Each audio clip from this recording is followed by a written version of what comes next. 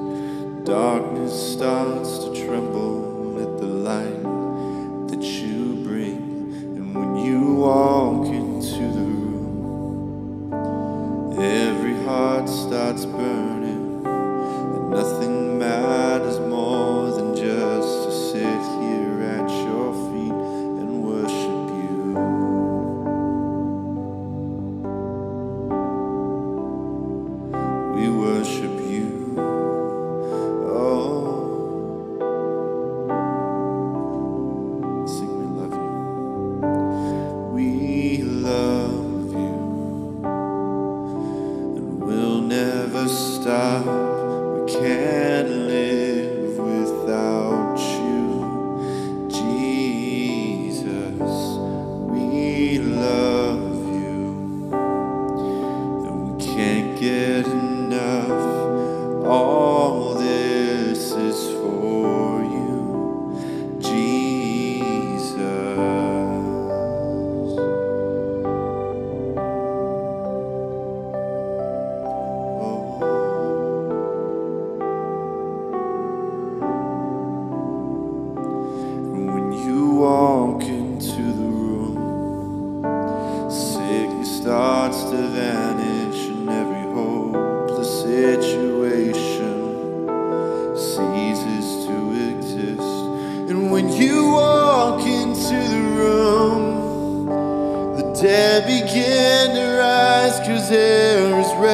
Are life in all you.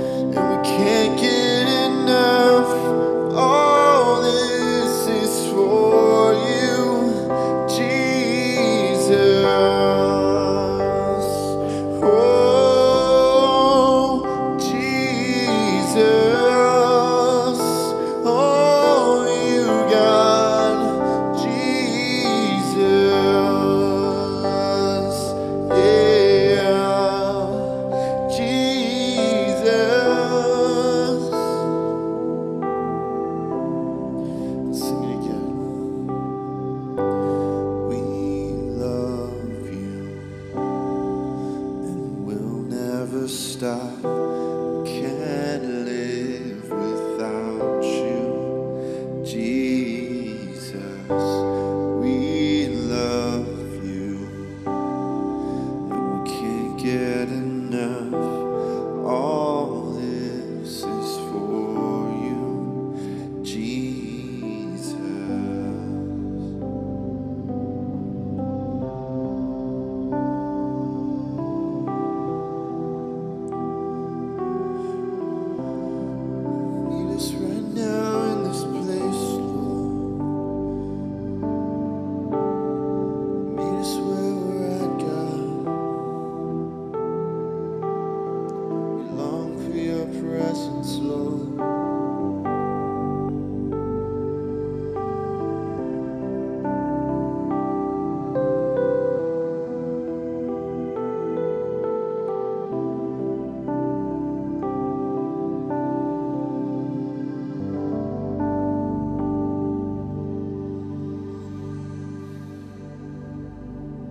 Everybody, my name is Darren. I am a grateful believer in Jesus Christ. I want to welcome you to Celebrate Recovery Online. Glad that you are here. We're looking forward to having an opportunity to share more with you tonight about how God can help you to avoid relapse. Uh, something that we really feel very strongly about, and so I'm looking forward to sharing that with you in just a bit. Uh, the first thing we want to do is share the 12 steps of our program with you. We do this whether it's online or a live meeting. We always uh, share either our 12 steps or the eight principles. And if you're not familiar with Celebrate Recovery, if you're just popping in tonight and checking it out, uh, Celebrate Recovery is a faith based uh, recovery program. It is 12 step driven, but we have eight principles, and together the 12 steps and the eight principles work together in helping us to overcome our hurts, our hangups, and our habits. So I'm looking again forward to sharing with you tonight in just a little bit uh, about how to avoid relapse in our lives. So before we do that, we're going to go right into the 12 steps. I'm going to give you the step and the scripture. I don't have my lovely wife with me uh, here this evening to uh, help me with this, so just bear with me over the next couple of moments as I share these 12 steps with you. Uh, step number one is that we admitted we were powerless over our addictions and compulsive behaviors, that our lives had become unmanageable. The scripture comes from Romans 7 17. For I know that good itself does not dwell in me, that is, in my sinful nature. For I have the desire to do what is good, but I cannot carry it out. Romans 7 17. Step number two, we came to believe that a power greater than ourselves could restore us to sanity. Philippians 2:13 is the scripture and it says, "For it is God who works in you to will and to act in order to fulfill his good purpose." Step number 3, we made a decision to turn our lives and our wills over to God's care. Therefore, the scripture, therefore, I urge you, brothers and sisters, in view of God's mercy, to offer your bodies as a living sacrifice, holy and pleasing to God. This is your true and proper form of worship. That comes from Romans chapter 12, verse 1. Step number four, we made a searching and fearless moral inventory of ourselves. The scripture, let us examine our ways and test them, and let us return to the Lord. Lamentations 3:40. Step 5. We admitted to God, to ourselves, and to another human being the exact nature of our wrongs. James 5:16 is the scripture. Therefore confess your sins to each other and pray for each other so that you may be healed. Step number 6, we were entirely ready to have God remove all these defects of character. Humble yourselves before the Lord, and he will lift you up. James 4:10.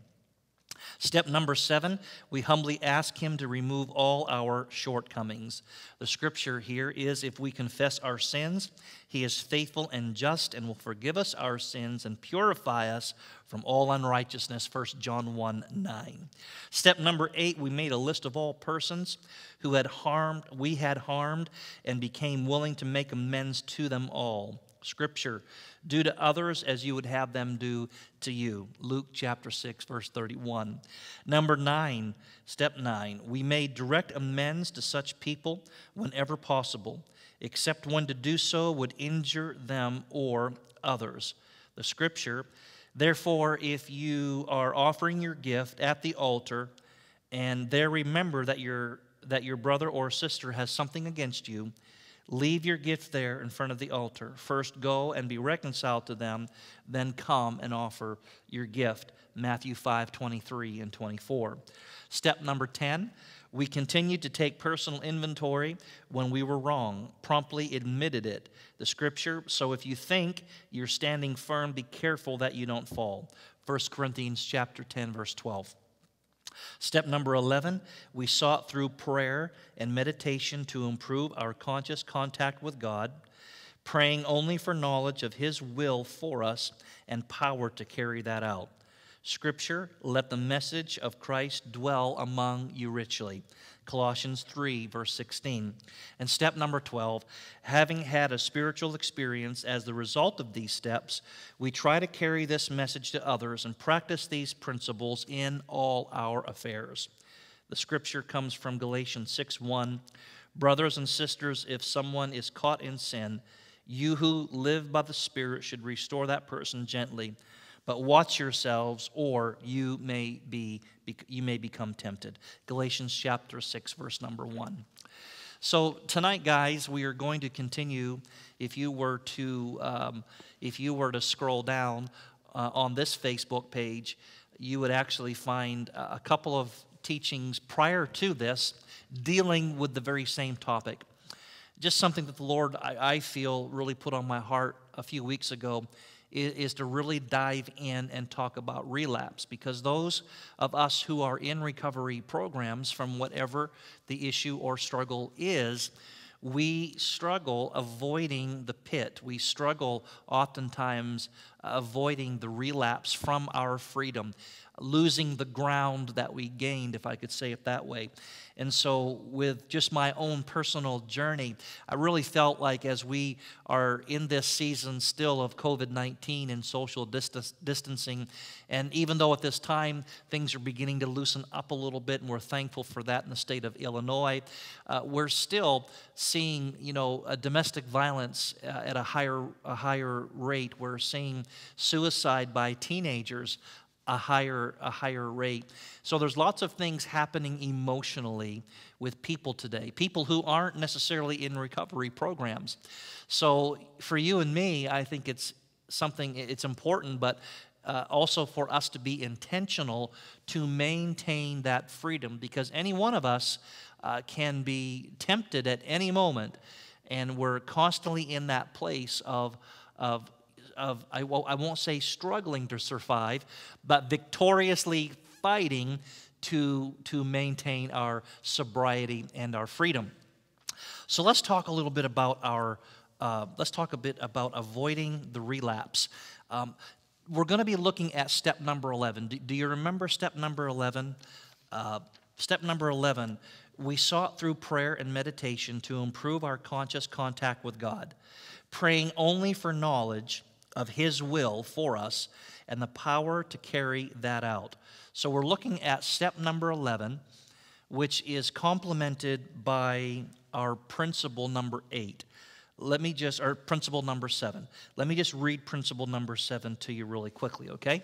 Principle number seven is to reserve a daily time with God for self examination, Bible reading, and prayer in order to know God and His will for my life and to gain the power to follow His will. So the step, uh, step number 11 and principle number seven um, are a focus for you and I when it comes to our, our daily living. And what we're looking at uh, tonight is that journey uh, the journey of, of applying and living what we have discovered in the previous six principles and in the previous 10 steps. This is very important, right? Because at this point, if you've walked through uh, this recovery program or any other recovery program. And if you're living in sobriety or you're living with emotional and positive emotional and mental health, then this is very important for us because we've gained so much ground. We have to begin, if we haven't, we really have to get some structure in place that will keep us, keep our feet on solid ground, keep us from that temptation to go back to the old, to go back to the things that, that used to hold us down and keep us from our future hopes and dreams, keep us uh, from, from losing the freedom that we have found. We have to have some structure so important. Structure is so important. We have to have some structure in our lives, and that is exactly what step number 11 and principle number 7 are talking about. Um, and, and let me just share this with you tonight, too because it's very important for you and I at this stage in our recovery uh, to live in an emotional healing. See, it's very easy for us to look at the issues and to look at the problems and to feel like if we've distanced ourselves from those issues and those problems, then maybe I've got this thing licked.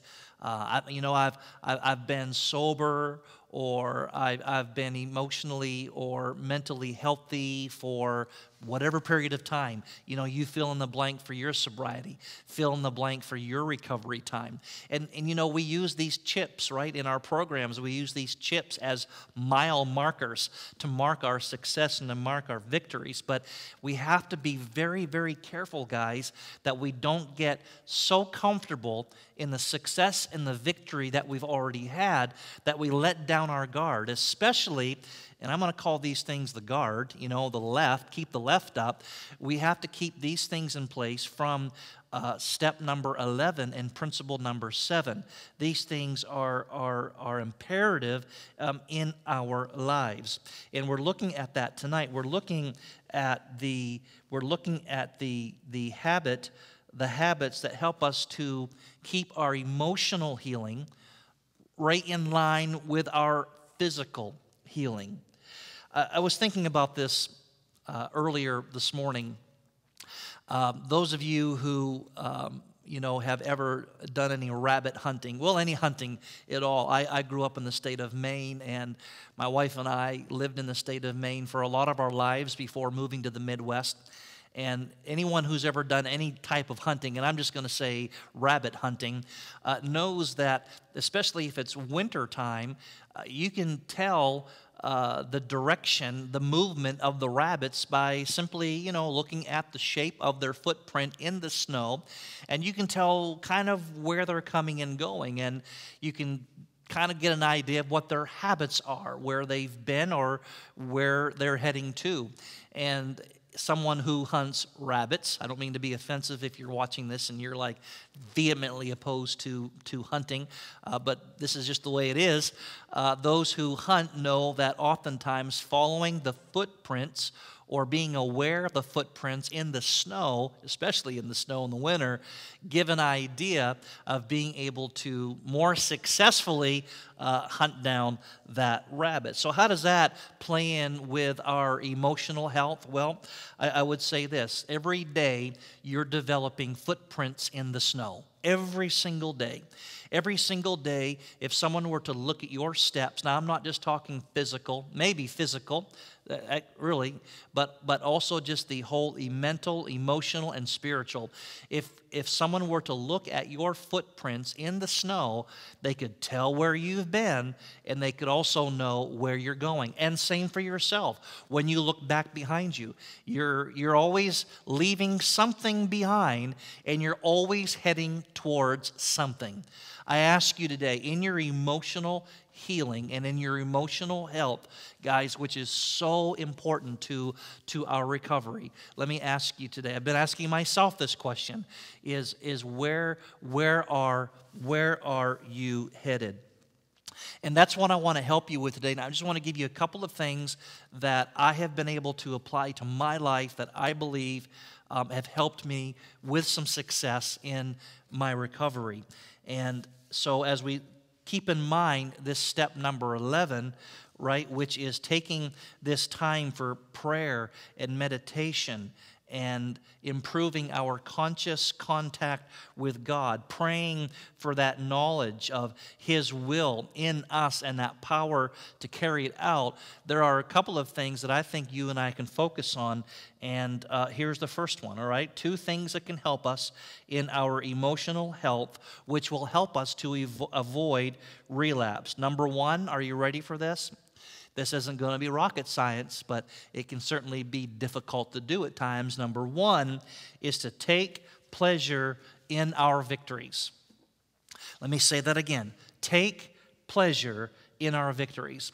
See, there's a reason why we call this celebrate recovery. Uh, there, there's a reason why there is a DNA. If you were to walk into any Celebrate Recovery program across this country, and there are thousands of them, there are over over 30 of them just in the central Illinois area. There are two in the city of Pekin. And if you were to go into any one, there should be some certain things about that program that resemble the other programs. We call this the DNA, the DNA of Celebrate Recovery. And part of the DNA of Celebrate Recovery is celebrating your victories. Now, if you're part of our program, like other 12 step programs, you know that one of the ways that we help you celebrate and we celebrate um, recovery with you is by giving you a chip at certain mile markers in your success. You get a chip when you attend your first meeting, and then from there, your 30 days, your 60 days, your 90 days of sobriety. Uh, we go on all the way to one year. You know that here in our program, we've had the blessing here to be able to honor people who've reached seven year.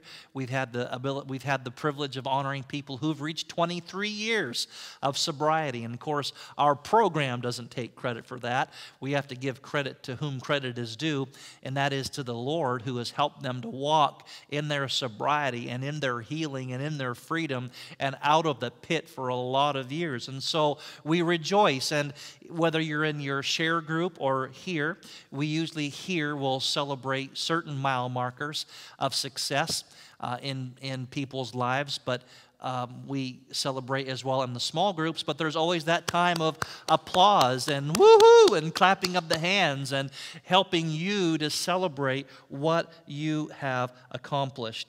Guys, that is so, so important. The Bible says in 1 Thessalonians 5 16 to 18, and I just want to share this that man this past week and this morning as i'm, I'm looking over uh, my notes for this particular session um, 1 Thessalonians 5, 1 Thessalonians 5, 16 and 18 are like more real to me today, this week, than ever before. And you know what it says? It says, Rejoice always, pray continually, and give thanks in all circumstances, for this is God's will for you in Christ Jesus. And I just want you to know that that you know it is so important for you to celebrate you know, we're looking, we're experiencing and looking at some really dark and dismal things in our nation, um, in our state, and in our city here in Pekin, Illinois, right now. There's lots of things that we can get our minds on, and these things can even get so harsh uh, and, and become so abrasive in our spirits that we want to relapse or we want to go back or we want to take some steps back away from the things, the ground we've already gained. And one way for us to fight against that is to rejoice constantly in the things that we have the, the, the mile markers we have passed by, the ground we have gained, and the distance that we have come so far. Rejoicing in what you've accomplished is so, so vitally important. And that's number one. And the reason is because, number one, is because of number two. Are you ready for this? Here's the second thing helping you to avoid relapse. I know, again, uh, this isn't, you know, like uh, advanced uh, advanced um, um, you know, college level degree, science, rocket science, but it's, it's simple, practical things that we have to follow. Rejoicing in our success and victories for the reason of number two. We have got to stop listening to those who invalidate our success.